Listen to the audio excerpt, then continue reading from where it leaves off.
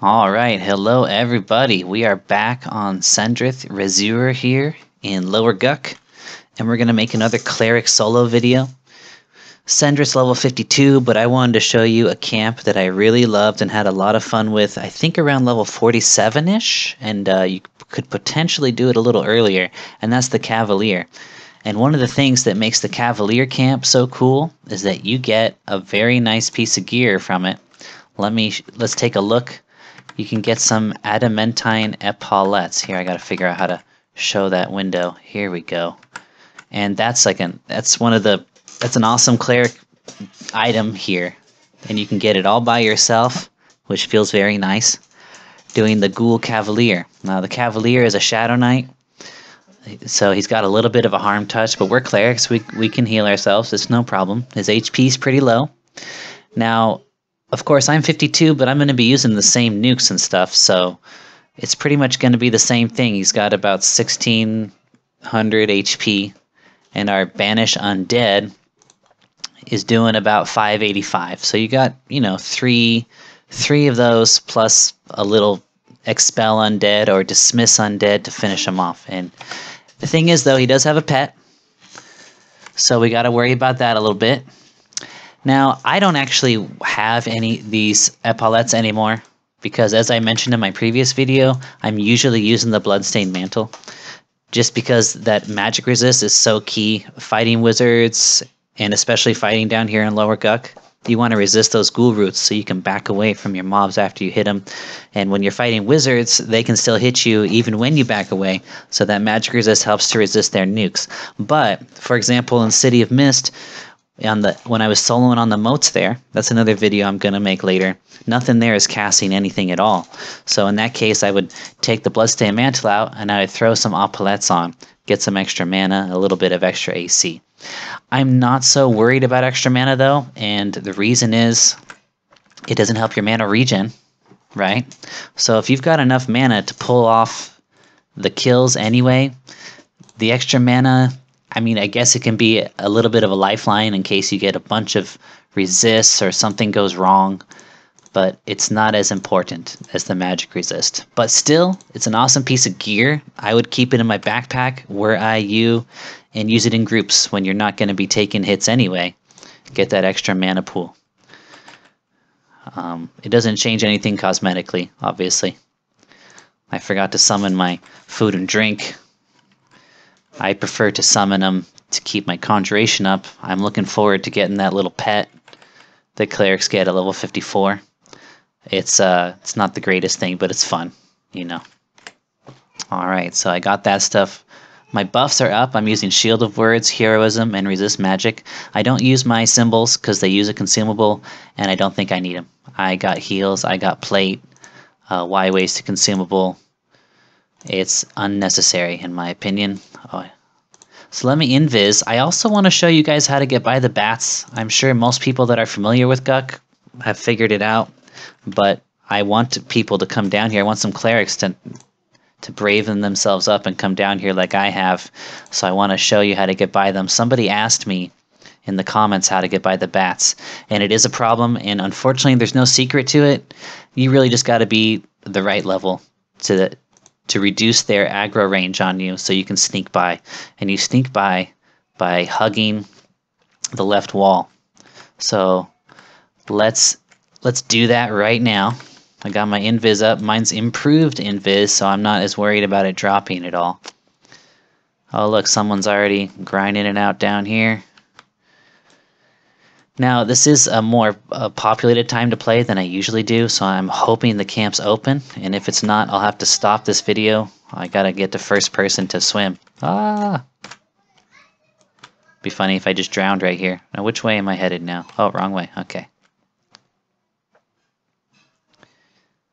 I don't know why I hit my camera key there instead of just zooming in. Looks like someone's already cleared bedroom, but usually there'd be undead mobs here. So you hug this left passageway. From the bedroom, you got those two passageways, right? You got to hug the left. The bats are right there. They seem close, and they are, especially those ones right there. But I think, I'm guessing at 47, which is probably as early as I would come down to do Cavalier, I think you're all right sneaking by them, hugging the left wall. And then you switch over to the right wall after you get past them. Not that it matters, because you got IVU. All right, so we're going to hop down here. Now, usually we hop down to the left and we turn left to get to Safe Hall. But for Cavalier, we're not going to that side. We're going here. Don't go through to the other side, but go inside this little cubby here. And here you are. This is kind of your staging area for the camp. Um, Cavalier room is right over here. Now, you got three mobs, and this one here is the placeholder. I would wave at him, but I'm worried it breaks invis. so, um, now, unlike the Sentinel camp, it's not entirely safe. You got one patrol that comes through here, right here, and I'm going to just get rid of him right now. I like to get rid of him when he's standing right there and I'm behind this pillar. And the reason is, on the other side of this pillar, there is another patrol that walks by. Watch me resist this nuke here. See? Gotta love the magic resist, man. He's only got 3%. I could probably just beat him down, but I'm going to use a Dismiss Undead to finish him off, save a little mana. See, there we go. So again, even though I'm 52, and you might, you should be coming down here at a lower level so you can get XP. See that patrol that just walked by over there? That's why I'm behind this uh, this pillar, so I don't aggro him. I feel like these blood spots on the ground, they denote safe spots to some extent. You'll notice them in the safe hall, and you, if you watch my other video of the Sentinel camp, you'll notice that that safe hall also has blood on the walls and blood on the floor. So here is is kind of safer. If I a couple times I was medding, you know, over here, and I aggroed that other patrol over there. Um, so now we got the patrol out of the way. So we got 22 minutes where this area is relatively safe. If I wanted to make it perfectly safe, I would kill that other guy over there. Now, you got enough range on the first mob where you don't need your invis up when you round this corner. And so we can begin calming.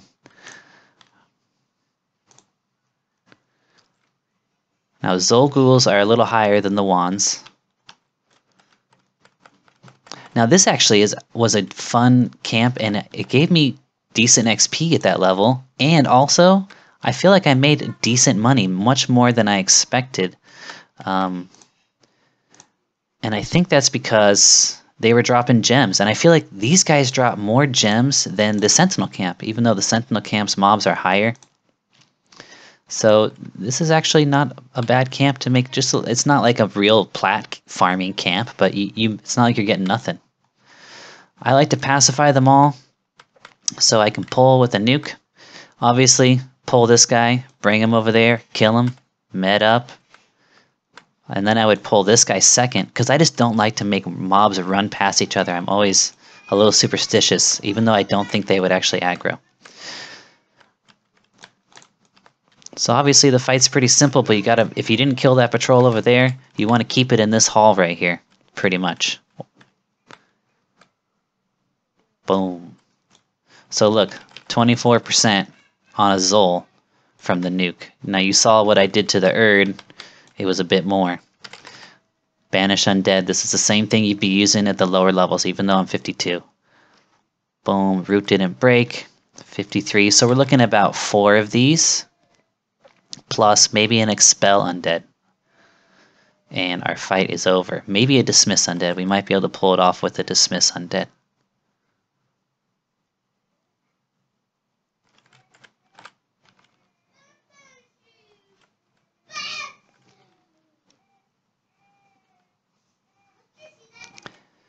I'm going to beat him down just a little bit for fun. Nah, I'm to do the expel undead right now. Alright, one down. You notice that if I keep the fight, they're calmed, so it probably wouldn't be a problem anyway. But if I keep the fight along the sidewall, even if they weren't calmed, I'd probably be alright. So I'm to med up and clear the camp, and I'm going to see if we can get a Cavalier to spawn so I can show you that kill. He spawns a pet. What I like to do is I like to calm everything, including the pet. And then when I pull him, I nuke the pet, and the pet's just gone.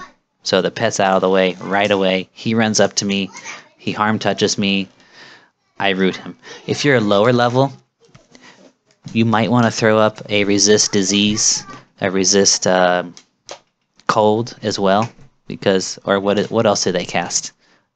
Maybe just to resist disease is enough. So you got resist magic and resist disease. You might as well give yourself an extra chance to resist the stuff he's throwing at you.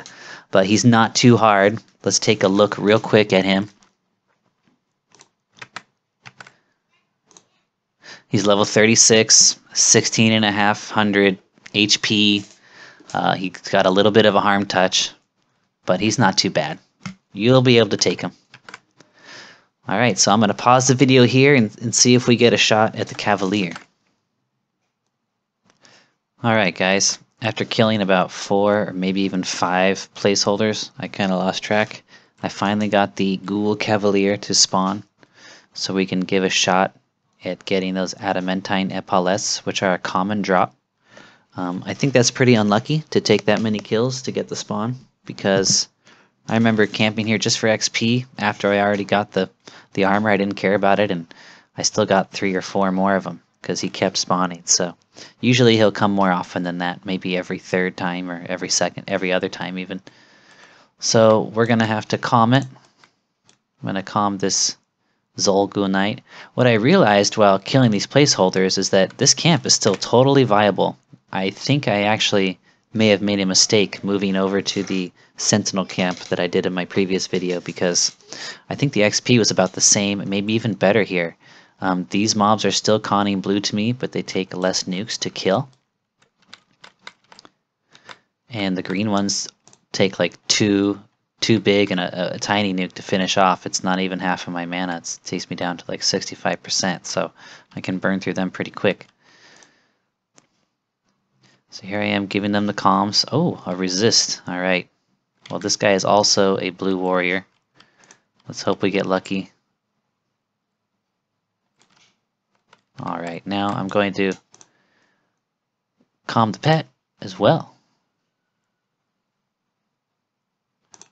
Now the Cavalier himself. Now first I'm going to pull this uh, Zol Ghoul Knight here. Like I said, I'm I, I have a feeling he actually would aggro if I pulled the Cavalier. Because the Cavalier, I think he runs down through him on the way to me. The pathing works that way. So we I think we actually do have to get him out of the way. It's not just my superstition. So let's do that. But after this, I'm going to take out the Cavalier. So nuke.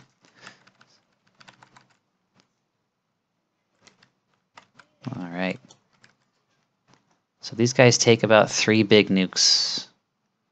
No, about four, right? Four big nukes. And then one little duster offer to finish them off. But um, they resist calm way less than the Dar Ghoul Knights I was killing in Sentinel. And I think their XP is nearly, if not the same. Now 7%, I think that's a little much for Dismiss Undead to handle, so I'm going to have to use an Expel. There we go. Next up, Ghoul Cavalier. See, look, another thing about this camp is I feel like they are dropping way more gems than these than the Dar Ghoul Knights over at the Sentinel camp I was doing. So it's far more profitable here, I feel. Okay, I'm going to pause the video while I med up, and then we're going to calm and kill our, our big boy here, the Cavalier. Alright, we're just about ready to go here. And I wanted to say, if you do come here to solo, you kill these three mobs in the patrol, and you want some more pickings. This room over here I find to be good. It's usually got slightly higher level mobs than the Cavalier room, or about the same probably. And you can pacify this guy and that guy from this corner, and after they're pacified, you move up to that corner right there, pacify a guy right there. Time it right, there's a patrol that comes a little bit close, but it's not there most of the time. And then you can pull from that room, which is what I did. I pulled a, a blue mob well, since I had extra mana and was still waiting. And like I said, this might be even better XP than the Sentinel camp, even at my level. I think I've got enough mana for this myself, though if you're lower level, you probably want full mana, because he is a little tougher than his level would suggest, you know, with all of, all of his spells and his pets and harm touch and everything. So again, I like to hit them with calms, even though I'm going to pull them. just so I get that opening nuke. There's Pets Calm. Now I need to get him. There we go. And I got my resist disease up. Because why not, right? I know they love to disease me. Now the cool thing about this pet is that he dies with a single Banish Undead. I, maybe even an Expel Undead can handle him, I don't know. But why? That, that's good enough for me. Alright, Cavalier. Now I uh, I didn't get the harm touch because earlier I tried to pull single pull this guy. I forgot how close together I had killed the Cavalier, that, that placeholder and this guy before. I didn't think he had spawned, but he had already spawned. I hadn't looked, so I took the harm touch earlier. But it only took me down to like 65, 70 HP. So you see he's trying to hit me with everything, but I'm resisting a lot of it. And if you crank your magic resist like I've done, I've got a Jacinth wedding ring that gives me 14 magic resist. Um, it really helps. It helps a ton. I think I can't recommend it enough for cleric soloers. I know I heard a lot of people say, "Don't worry about magic resist." I hear a lot of people say, "Oh, if it if it doesn't go up to 200, it's not worth. If you don't get 200 magic resist, it's not worth worrying about it at all." I definitely do not agree with that. Um, who cares if you resist everything or not? And there we go. It's a common drop, so you're probably going to get it every time you see him. Easy peasy. A Ghoul Cavalier in this room here. Another blue right there. He managed to land a heat blood on me. Look at my HP. Of course, I'm a bit higher. You probably would be doing this a bit lower, but if you take some hits, throw on a select. I, I think when I was lower, I had my symbol of Naltron on to give myself the extra HP, and with a Celestial heal over time, you know, the healing dot, it really, it's nice to have that extra HP. You get down to, you know, 60, 50, 40% HP, you can heal yourself up. If you think you're going to have trouble with your with getting interrupted, you can pull up a stun, maybe Sound of Force.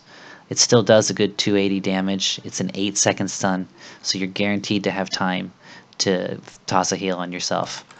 Um, yeah, and that should do it. That's the Cavalier camp here. Hope you enjoyed this video. Um, I'm going to do some more Lower Guk videos, and uh, then I'm going to head to City of Mist to show a camp that I had a lot of fun with, the Moat over there. It's a little hard to get to, but once you're there, it's sweet as pie, and if anything goes wrong, you got plenty of time and some tricks to give yourself extra time to camp or gate out. Um, so I will see you next time. Give a little Zaner style wave there. Bye everybody.